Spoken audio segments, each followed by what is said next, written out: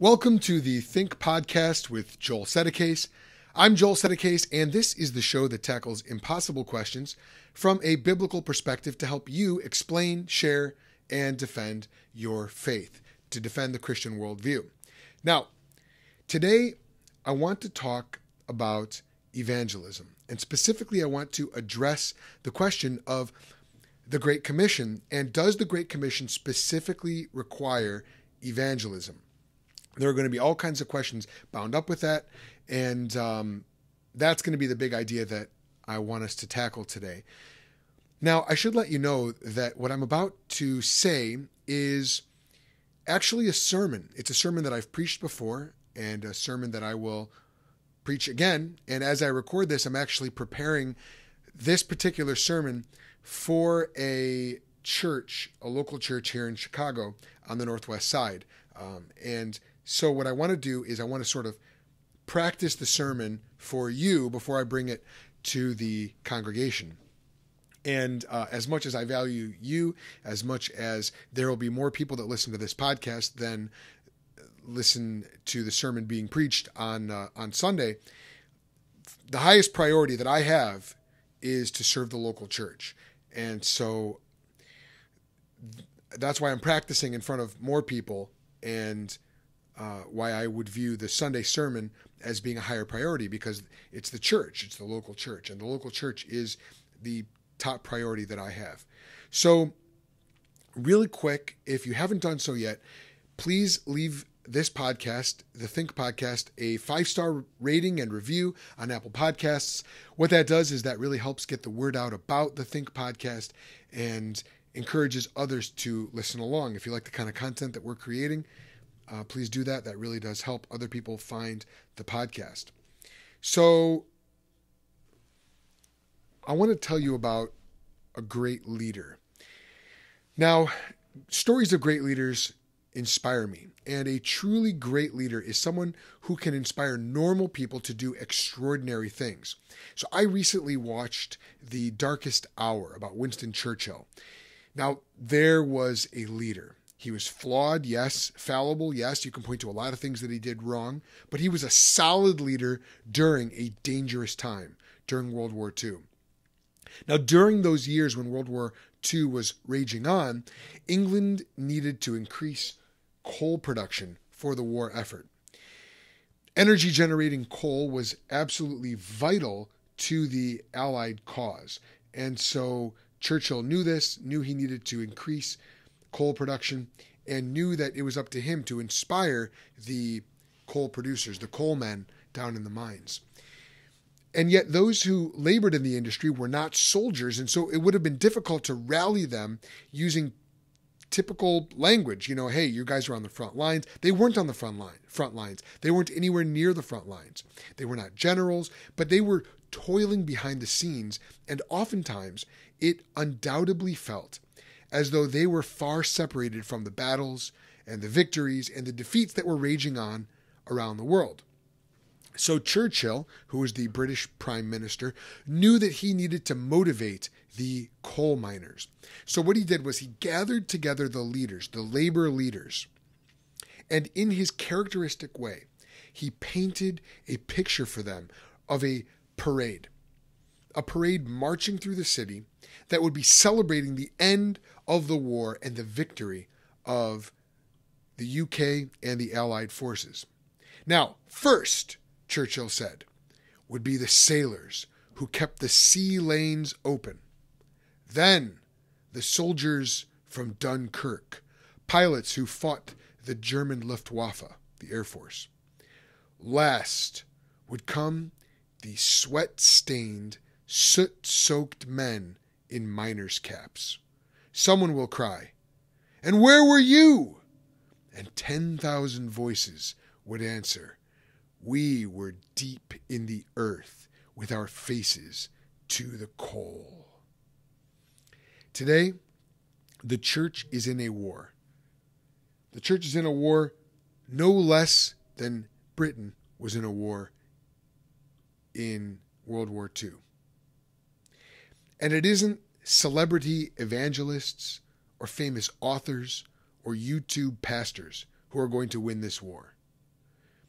No, it's the humble, everyday Christians laboring in the power of the Holy Spirit behind the scenes in order to bring the gospel to their neighbors who will carry out the mission of the church and win the war. These are the ones with their faces to the coal. These are the ones who carry out the mission of the church and who ultimately will win the victory. Now, when I say bring the gospel, I'm talking about evangelism. Evangelism is perhaps one of the most misunderstood disciplines in the church today. You know, what activities count as evangelism? Does living a godly lifestyle count as evangelism? Many say that it is. We're going to talk more about that in a minute. Who should be doing the work of evangelism? Is it the pastor? Is it every Christian in the church? Who should be doing that work? We'll talk about that. What is our motivation for evangelism? Should we be motivated by guilt? We'll talk about that as well. What we will see is that we are desperate for clarity around the issue of evangelism. And my hope is that today we will get that clarity. And we're going to get that clarity from Jesus himself. We'll see that our situation is, in fact, urgent and that we have work to do. Well, let's talk about urgency. How urgent is our situation? Well, if we look at the world as a whole, what we'll see is that the church is growing. The church is growing in Asia and the Middle East. And by church, I mean the universal church. Every Christian who has repented, trusted in Jesus Christ for salvation. And the church is growing right now the fastest in Iran. Isn't that interesting? The church is growing the fastest in Iran. But here in the U.S., not so much. Here in the U.S., the situation is a little different. In the United States, it takes 20 Christ followers each year to make a single disciple. 20 to 1. That's the ratio of how many believers it takes to create a single new disciple. Now, at that rate, what that means is this it will take 20 years for one Christ follower to make a single disciple. 20 years per disciple to make a new disciple. And the cultural climate in our country is getting even more challenging. A lot of that is bound up with the fact that very few Americans have a biblical worldview. And statistically speaking, the number of Americans who have a biblical worldview, and that means that they interact with the Bible frequently, the Bible is transforming their relationships and shaping their choices.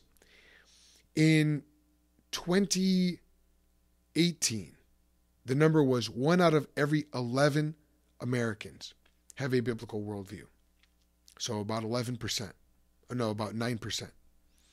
In 2019, that number decreased to 5%. One out of every 20 Americans now have a biblical worldview. They are interacting with the Bible frequently, it's transforming their relationships, and it's changing their choices.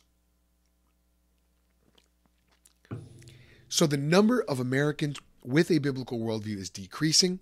That is a massive challenge that we face, and Christians are not meeting that challenge. Another recent survey found that nearly two thirds of Christians had not shared how to become a Christian with anyone in the last six months.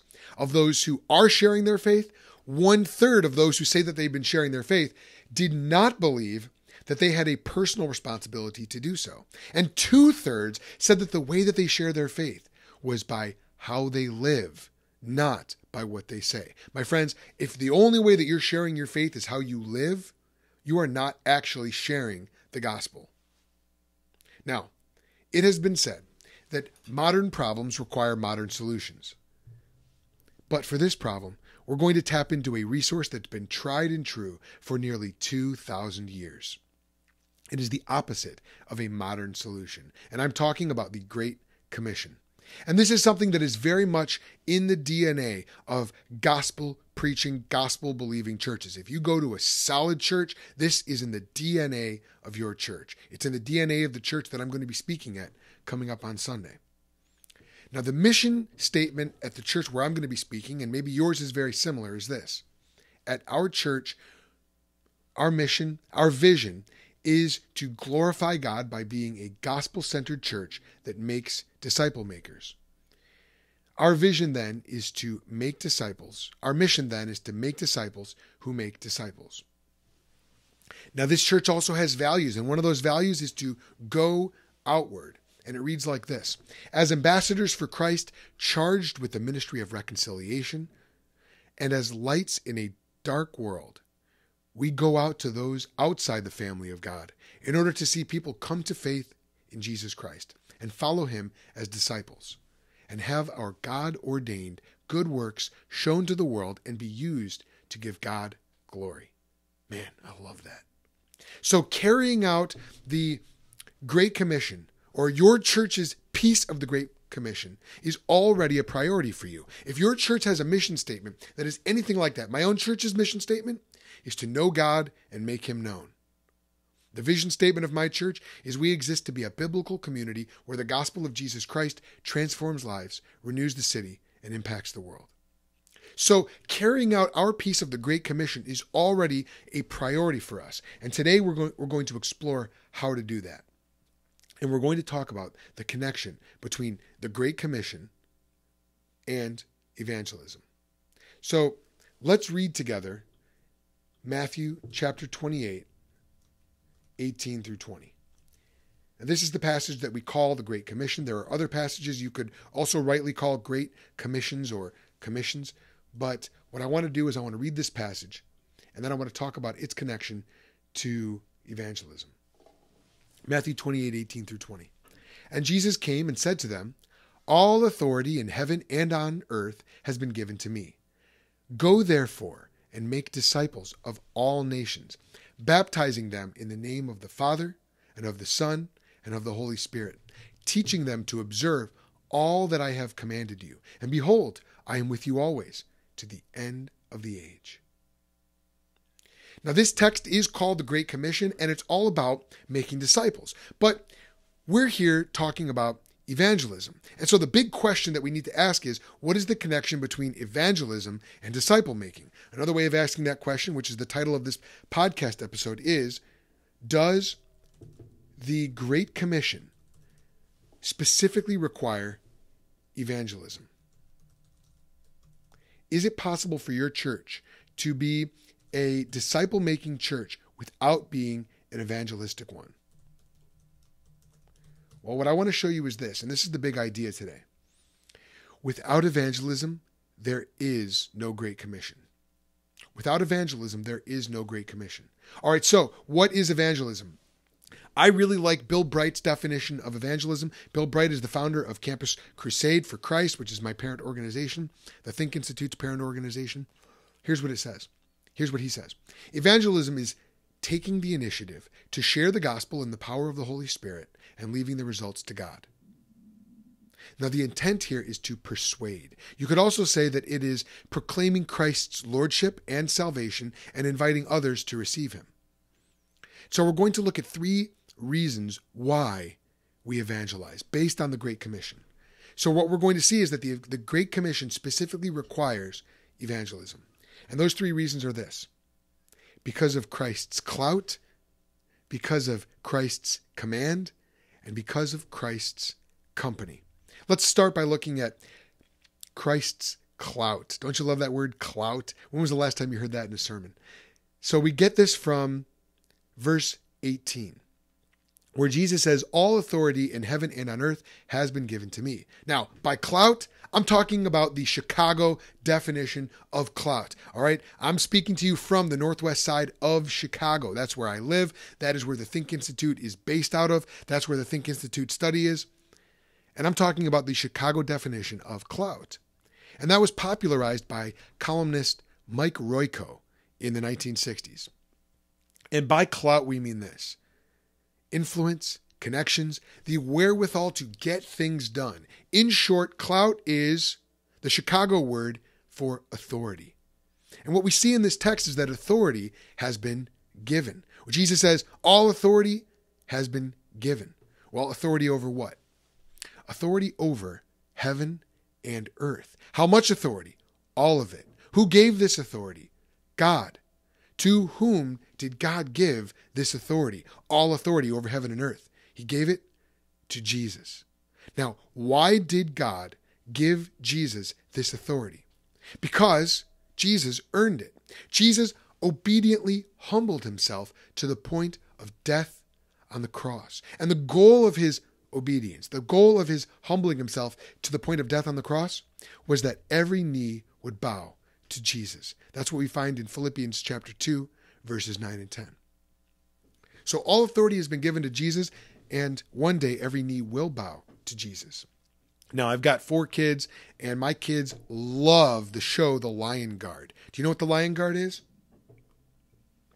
The Lion Guard is the continuing adventures of the cast and crew of The Lion King. Now, in the movie The Lion King, which is what The Lion Guard is based off of, Mufasa, the king lion, brings his young son Simba to the top of Pride Rock.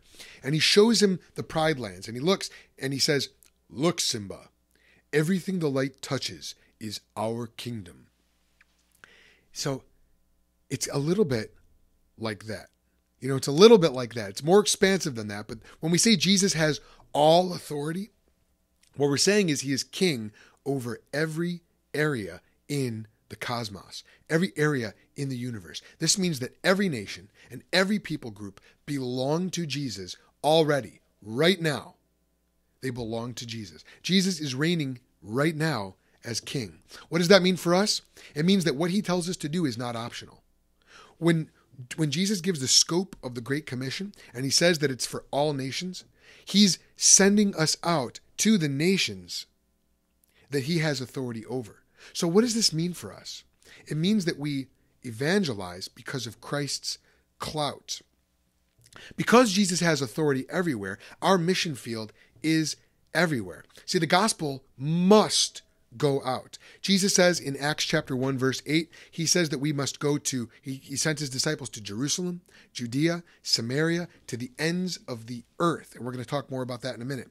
But as a, as a church in Chicago or a church in your city, you would be considered the ends of the earth. Why? Because we live in the United States. We live in, in North America, which was considered the ends of the earth. Matter of fact, Jesus' disciples didn't know about North America. And so your piece of the Great Commission is going to be unique. It's it's going and I, I've got listeners from actually all over the world to the Think podcast. So wherever you are, whether you're in Jerusalem, Judea, Samaria, or the ends of the earth, your piece of the Great Commission is going to be unique. But it's your piece. You have that piece. And because Jesus is the authority over you in your locale, this must matter to you. You've been called by someone who has all authority in order to make disciples. And making disciples is going to require evangelism, which is what we're going to see. Jesus is the authority over all of the world, but that also means that Jesus is the authority over you and your life and every arena of your life. Because Jesus has all authority, that means he is the authority over your church life, your work life, your home life, your family life, your alone time, your social sphere, your friends. It's all his. And so if you're going to see your church and your life turn the corner on evangelism, turn the corner on discipleship, it begins with seeing this. Fulfilling your church's piece of the Great Commission begins with recognizing that disciple making means bringing the good news to every area of your city and every area of life. And that is going to evo- involve everyone because it's all Christ's. Now, let's talk about the second reason why we evangelize. Because evangelism is the announcing of Christ's rule and Christ's authority.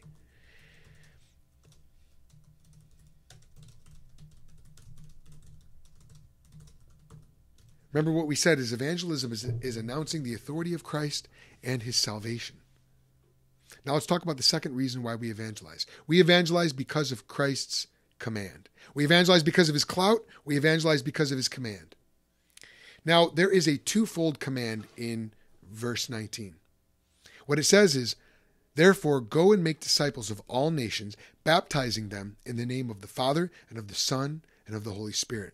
Now, this twofold command is go and make disciples. Now, I used to think this was a single command. I thought it was make disciples and that go was a modifier, meaning as you go, while you go, having gone, etc.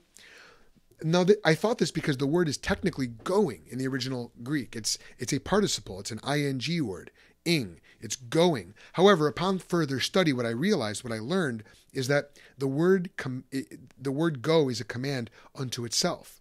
It is associated with making disciples. It's tied to making disciples, but it is a command in and of itself. Now, why is that? Because Jesus is telling his disciples to disciple the nations. And where are the nations? Well, the nations are elsewhere. They weren't going to just naturally go to the nations, they had to be sent to the nations. And so going is a command. So now the question is well, who should go? Well, who should go? The church that Jesus, Jesus started through the first disciples should go. But we also know that it's not just the disciples because Jesus promises to be with them. We're going to see this in a minute. Jesus promises to be with them till the end of the age. Well, who are the disciples? Uh, how long did the disciples live? Did the disciples live until the end of the age? No. The disciples lived during their lifetimes and then they died. Many of them were martyred for the faith. But Jesus' promise here is to the end of the age, he would be with them. So, what we find out here is that Jesus is giving a promise through the disciples to the rest of the church. He's promising to be with the church till the end of the age. And so, if he's promising to be with the church, he's also commanding the church to go and make disciples. You see, the command and the promise are so inextricably linked that if you want the promise, you have to get the command with it. And this is related to John chapter 17 when Jesus prays for those who would believe as a result of the disciples' message. When Jesus is speaking to the disciples, we can read that and we can say, This is not just for them, this is for us as well, because we have believed through the disciples. So the promise is for us, and therefore the command is also for us. Now, why should we go to the nations? Because Jesus has clout. Jesus has authority over us, and he commands it. Because Jesus has authority too, he has authority over them. Jesus cares about the nations. Now, when should we go? Well, Jesus says in Acts 1 8 that we will be his witnesses when the Holy Spirit has come upon us. And the Holy Spirit comes upon a person when he repents and trusts in Jesus Christ. So we should go when we trust in Christ. We should go when we are sent by God. According to Romans 10 14 and 15, here's what it says how then will they call on him in whom they have not believed? And how are they to believe in him of whom they have never heard? And how are they to hear without someone preaching? And how are they to preach unless they are sent? Commenting on this verse, John Calvin, one of the great reformers, said this He intimates that it is a proof and a pledge of divine love whenever any nation is favored with the preaching of the gospel, and that no one is a preacher of it, but he whom God has raised up in his special providence, and that hence there is no doubt but that he visits that nation to whom the gospel is proclaimed. In other words, if you're preaching, God has sent you. If you're going, God has sent you. The point is, if someone is preaching the gospel, they have been sent by God to do so. The point is rhetorical. How could this evangelist be preaching to those who are believing unless he had been sent? The answer? He couldn't. God must have sent him. So here's the point the Holy Spirit calls us and sends us. If you've ever shared the gospel with anyone, you were tasked with that task by God, by the Holy Spirit. You were sent.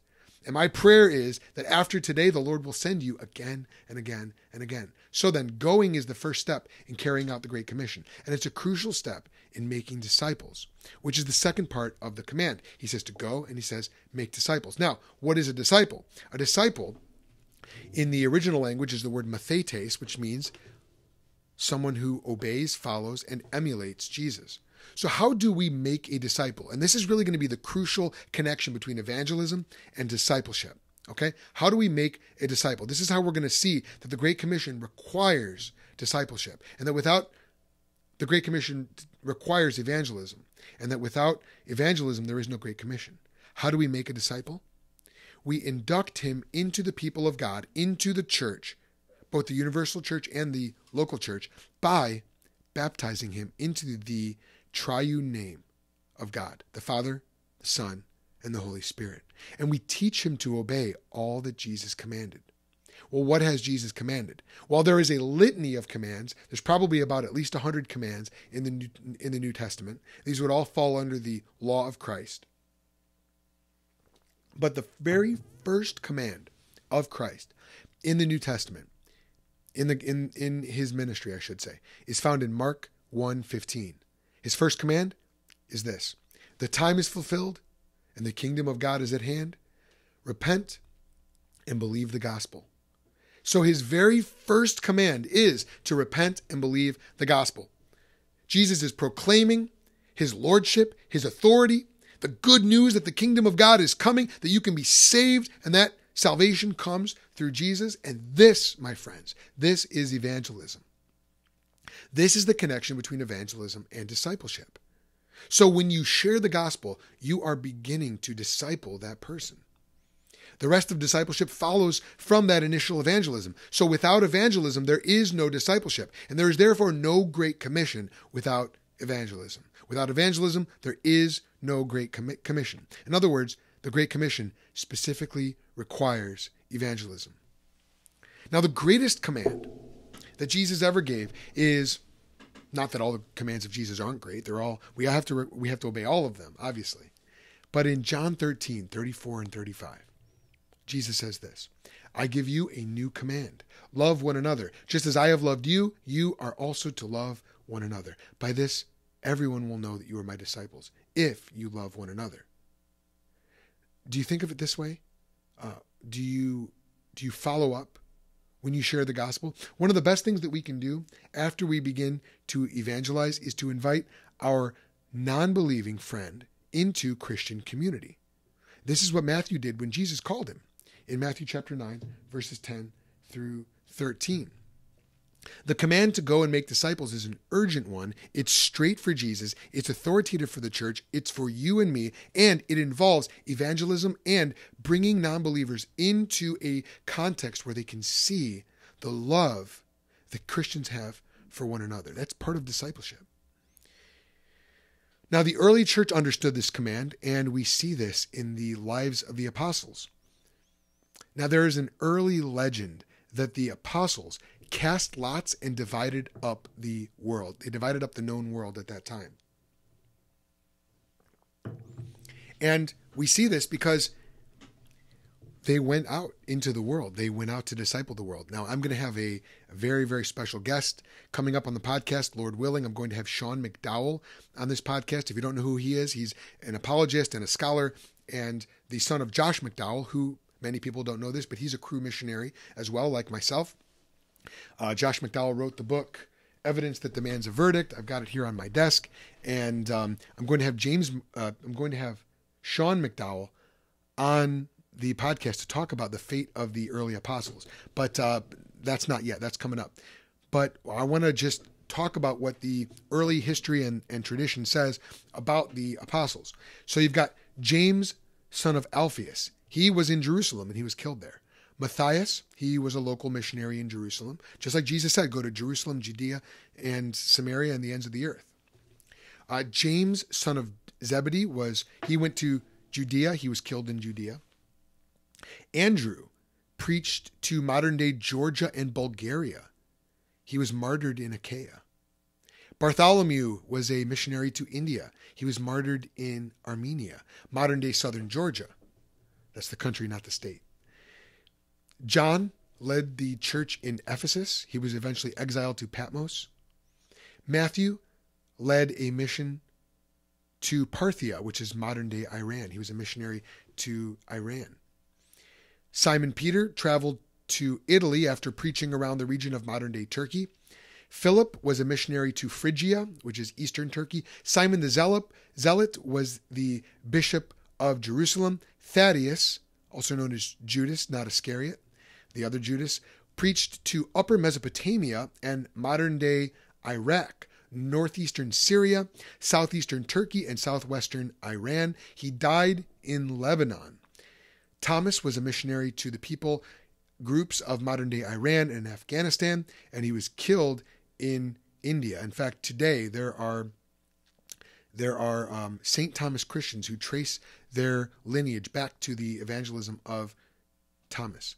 And the Apostle Paul made it as far as modern day Croatia and Italy and possibly even Spain. So you see, these early Christians spread out over the world, sowing the seed of the gospel, evangelizing, and reaping harvest after harvest. They planted churches, they evangelized their communities because they understood that the Great Commission does require evangelism. In order to disciple the nations, you have to evangelize the nations. And their churches grew, and they sent out emissaries to plant new churches. New peoples were evangelized through these emissaries, and the cycle continued. And if you trace out this process in history, you will eventually get to Europe, and then from Europe, through by way of the Puritans and others, to North America, and then by, by way of the pioneers, uh, west westward, eventually here to the great city of Chicago. And so I'm here in Chicago as a result of the early evangelism and disciple making of those early Christians and evangelists. Now, that's um, that's all well and good, you might say. But, you know, the Great Commission just really applied to the disciples, it applied to the apostles. This doesn't apply to our day, it was just given to them. Well, I've already hit on that when I said that the promise was not just for them. But look at 1 Peter 2 9. Now, this is in the context of Peter addressing the whole church. Here's what he says You are a chosen race, a royal priesthood, a holy nation, a people for his own possession that you may proclaim the excellencies of him who called you out of darkness into his marvelous light. Now, everyone who has been saved this way has a job to do. Everyone who's been saved by Jesus has the job of proclaiming Christ's excellencies. See, this is the same as declaring his lordship and salvation. Those are his excellencies. Now, that is evangelism. That's sharing the gospel and the power of the Holy Spirit. And it's the purpose of every Christian. In John 20, 21, which is John's version of the Great Commission, Jesus says, As the Father has sent me, even so I am sending you. That's just three chapters after Jesus prayed for the disciples and those who would believe through their testimony. He sent them, and He's also sending us we need to see that Jesus has commanded the church to go and make disciples. Now, will everyone go overseas? No. Will everyone physically be baptizing? No. Will everyone teach a discipleship class or a membership class? No. But the Great Commission is for the church, and every one of you is a part of the church. And therefore, every one of you has some role to play. And every one of you is going to come into contact with non believers who need to hear the gospel and they need evangelism. And part of your role is evangelism, is sharing the gospel in the power of the Holy Spirit and leaving the results to God. See, we evangelize because Jesus, who has all clout in heaven and on earth, has commanded it. And in this way, you and I fulfill our piece of the Great Commission. Without evangelism, there is no Great Commission. Now, third point we evangelize. The third reason why we evangelize is because of Christ's company, or we might say because of Christ's companionship. We evangelize because Jesus is with us. And we get this beautiful promise in verse 20. We see that Jesus loves you and has not left you alone in this process. Jesus is proving himself to truly be Emmanuel, which means God with us. Jesus says in that last verse of the Great Commission, he says, Behold. In the King James, he says, Lo, which means look. In the CSB, he says, Remember. So as you go, as you make disciples, we are to remember what Jesus says next. So, what is the promise that we should remember as we go? If you look at verse 20, it says we should remember Jesus. We should look at, we should behold Jesus. Where is Jesus? We're going to look for Jesus. We're going to we're going to behold Jesus. Where is he? Where can we see him? Well, he is with us. He is within us by his spirit, by the Holy Spirit. He's also moving through his kingdom. He's moving through all nations. He's awakening his chosen people, his elect, to the truth of the gospel. Those whom God chose in him before the foundation of the world, that they should be holy and blameless before him. Now, there was a great missionary named Hudson Taylor. Hudson Taylor was the director of the China Inland Mission. He interviewed missionary candidates all the time because he had developed such a reputation that there were many Christians who wanted to come and join him on his mission. And Hudson Taylor would ask these missionary candidates, he would ask them, Why do you want to be a missionary? And they would answer, Because Christ has commanded us, or because millions are perishing without Christ. Well, Hudson Taylor told them. Now, this gets to the question of motivation, which I hinted at earlier, which I said we were going to discuss. Hudson Taylor told them all these motives, however good, will fail you in times of testings, trials, tribulations, and possible death. There is but one motive that will sustain you in trial and testing, namely, the love of Christ. See, the love of Christ that goes with you will sustain you. So we evangelize. We bring the gospel to our neighbors and invite them to repent and trust in Jesus because we have experienced Christ's love and we continue to do so. And we believe that the love of Christ and the presence of Christ, the companionship, the company of Christ will go with us. And the apostle Paul goes so far as to say that the love of Christ controls us. He says this in 2 Corinthians 5:14 and the love of Christ, the love of Christ compels us to urge others to be reconciled to God. See, Jesus doesn't promise to make it easy for us, but he promises to be with us. And if it's hard, it's hard. Jesus knows the thing or two about hardship, though, doesn't he? And he will get us through, he will be with us. So let's talk about some of the reasons now why we don't evangelize. Why wouldn't we evangelize? Given Christ's clout, given Christ's uh, command, given his company, why wouldn't we evangelize? Now, at this point, you might want to take a moment and really ask the Holy Spirit to reveal to you what is holding you back. Listen for the ones, as I list these, listen for the ones that apply to you. Well, the, there are really three categories of objections priorities, lack of skill or know how, and fear. Priorities manifest in these ways uh, I don't want to offend this person. Um, I don't have the opportunity. I don't have any desire to share.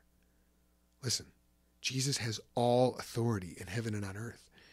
If your priorities are out of whack, my friends, we need to humbly pray about that and pray that God would change our priorities. Change your priorities and get them in line with the Lord. Matthew 6:23 says, "Seek first the kingdom of God and his righteousness, and he will add all these other things that you need." Second category then is lack of skill or know-how. You know, I don't know what to say. I, I don't have enough experience. I I I don't know how to explain the gospel or my story, my own testimony. I don't know how to answer their tough questions. And, and you know, I'm not an evangelist. That's really the pastor's job. Well, the answer to that is is is this. The fear of the Lord is the beginning of wisdom. So trust the Holy Spirit out of worship of Christ. Learn and practice. Trust the Holy Spirit. Leave the results up to God, but but make a commitment to learn how to share the gospel and share it well. And by the way, the Think Institute, we offer all kinds of resources on how to do that. You could scroll through the archives of this very podcast and, and find episodes that are relevant to you. And then the third category is fear. You know, Proverbs 29 25 says, The fear of man lays a snare. Fear manifests itself, itself like this I'll get in trouble if I talk about Jesus at work. I don't want to risk ruining this relationship. Talking about my faith makes me too uncomfortable. Well, here's the answer to fear. The Bible says that perfect love drives out fear. Do you know that Jesus is with you? Jesus loves you. And Jesus wants you to take that risk. Does that mean you get a bullhorn and bring it to your workplace? No, probably not. But there are ways that you can be as crafty as serpents and as innocent as doves in order to share the gospel with your coworkers, even building on the foundation that you may leave during the workplace. See, we need to obey God rather than man. Acts 4:19 says this. So, to conclude then, the church has a vision for fulfilling Christ's mission. Your church exists as a body to spread the fame of Jesus' name through discipleship. That is a wonderful, Christ honoring mission, and God will absolutely honor it. Now, in Cojourners, the evangelism class that I teach, I talk about several ways to grow in your skill at sharing the gospel. And there are three practical commitments that you can make in order to do this. One, commit to sharing, commit to making disciples. We've seen that disciple making requires evangelism.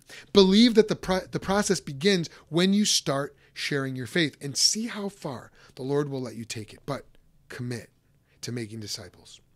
Number two, commit to asking better questions. Explore the other person's soul, their spiritual landscape, and look for entry points for the gospel. Ask the question May I share with you what's made a huge difference in my own life? And three, commit Romans 6:23 to memory. I can't recommend this highly enough. Memorize Romans 6:23 as a one-verse presentation of the gospel that comes in 3 P's: problem, provision, and person. Problem, the wages of sin is death. Provision, the free gift of God is eternal life. And person, in Christ Jesus our Lord. Jesus is the one that makes it happen. That makes that brings someone from the side of death to the side of life. And then finally, practice and pray for God to give you opportunities. You know, praying for opportunities to share the gospel is a request that God always answers for me. If I'm on an airplane, if I'm at if I'm uh, out in the workplace, wherever, if I'm around my city, God gives me opportunities, but we need to pray for them. You know what? If you're a, a dad, if you're a mom, you can start with your kids. Share the gospel with your kids. Hey, kids, have I ever told you the gospel, the good news about Jesus?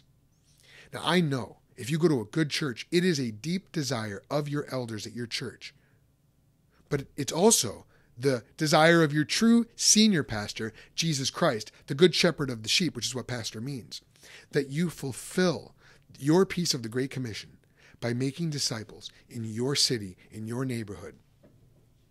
For me, that's the north side of Chicago. Now, the need is urgent, and now is the time for us to obey the Great Commission. And that's going to mean getting serious in your own life about sharing your faith, about evangelism. Because without evangelism, there is no Great Commission. Well, that's all I have for you guys today. If you want to connect with the Think Institute, please do so by going to thethink.institute. Follow us on Facebook and Instagram at The Think Institute, on Twitter at ThinkInst. Drop me an email at thethink.institute at gmail.com if you have any questions, con- complaints, concerns, or conundrums. And you know what? This is not goodbye. This has just been a little pit stop along the way of your spiritual journey. And I hope that over the next week you have the opportunity to put what you just heard into practice. And until next time, I hope it makes you think.